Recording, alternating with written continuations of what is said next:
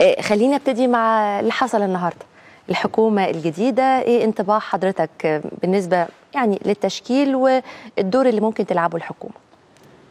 هو أنا لي رأي في هذا المقام وهو أننا منذ 52 حتى الآن بنفتقد الوزير السياسي. آه.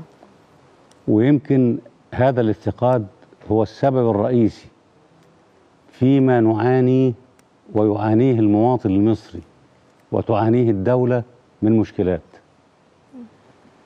الوزير السياسي يعني الحكومة السياسية مفهوم. لأن هو السلطة التنفيذية رئيس الجمهورية الحكومة الحكم المحلي بنظام المحافظين وخلافه.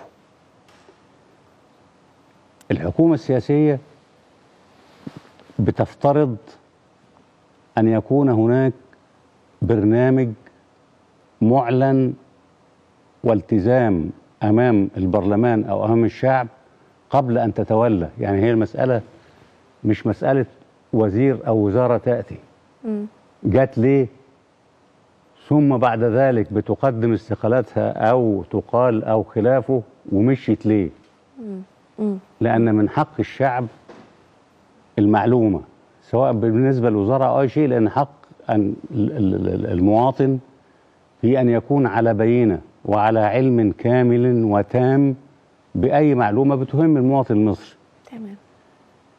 ففكرة الوزير السياسي أو الوزارة السياسية ليس ذلك تقليلا من شأن التكنوقراط الخبراء لأن الخبير هو الذي يعاون بالنسبة للحكومة الوزير السياسي أو الحكومة السياسية بتبقى في سياسة عامة للحكومة.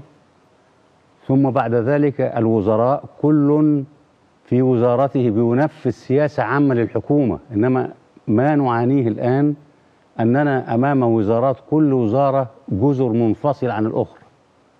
التعليم منفصل عن الصحة منفصل عن الاستثمار.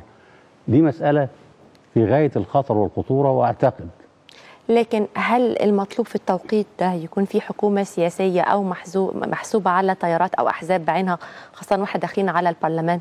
لا أنا مش بتكلم على الحكومة الحالية أنا بتكلم بوجه عام. مم. بوجه عام أننا سرنا في هذا المسار من 52 حتى الآن في أننا افتقدنا ولم نكن أمام الحكومة السياسية أو الوزير السياسي.